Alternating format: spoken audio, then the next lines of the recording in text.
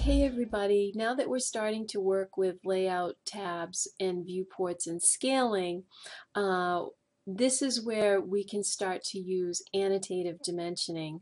Um, and there's also annotative text and annotative leaders. So let's see if I can kind of show you an example of that.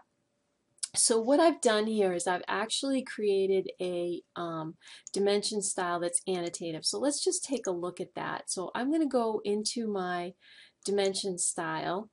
And the dimension style that I've uh, that's annotative is this one here called decimal dim and you'll notice it has the annotative scale symbol. Okay that's supposed to be an end view of a scale there.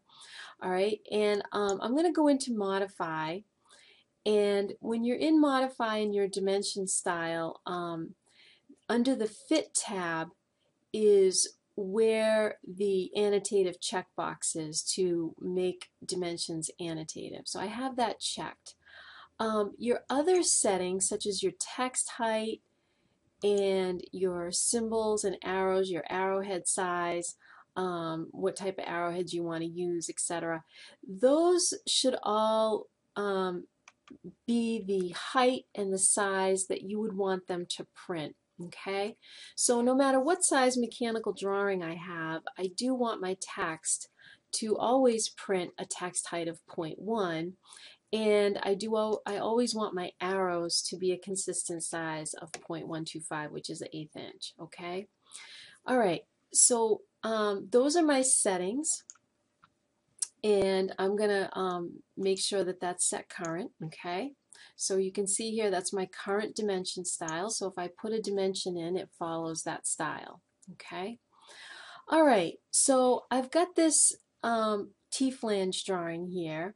And one of the first things I want to know before I start dimensioning it is what scale, uh, zoom scale, is my viewport, okay, to, that holds this drawing. So let's go to Layout 1 and I'm going to double click inside my viewport and I'm going to play around with some scales to see um, what works. Now one to one is, is much too big so I'm going to try 1 to 2.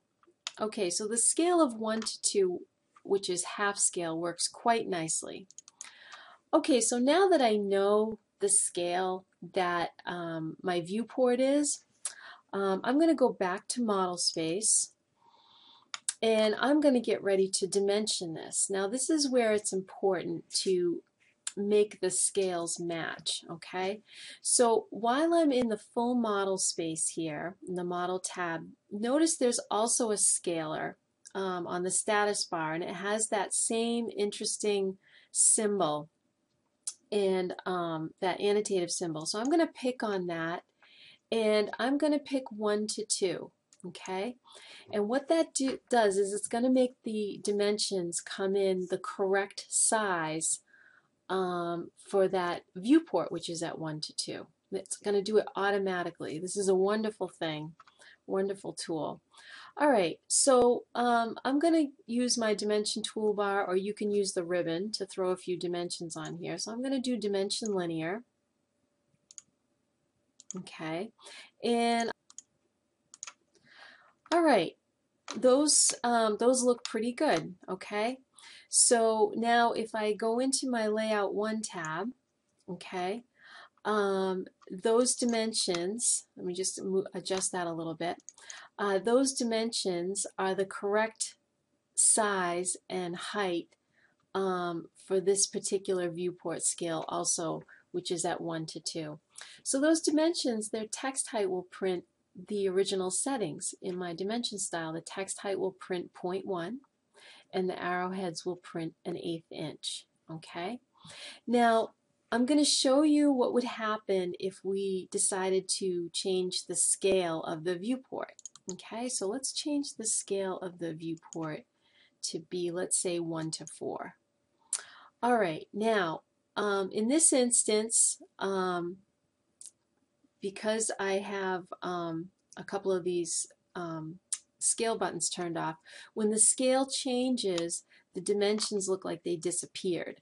Okay, and that's because um, the dimension scale that we put them in at model space now doesn't match the viewport scale anymore. My viewport scale is now 1 to 4. All right, so let's go into model. And what I'm going to do down here, if you notice on the scale bar, I'm going to change this to be 1 to 4. And you're going to see the dimensions change. Okay, you see them get much, much bigger. Okay, let's go back to our layout tab now. Okay, so here they are um, at 1 to 4.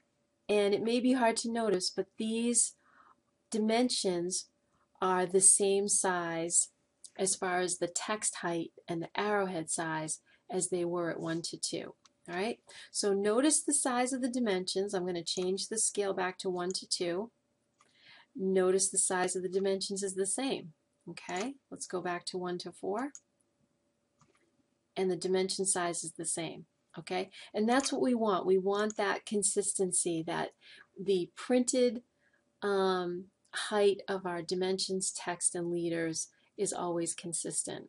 Okay, so I hope that helps um, with using um, annotative um, dimension styles. I'm changing my scaler back to half uh, because that is the scale that I'm going to use in this viewport is half and um, they match so that should be kind of a good introduction to annotative dimensioning.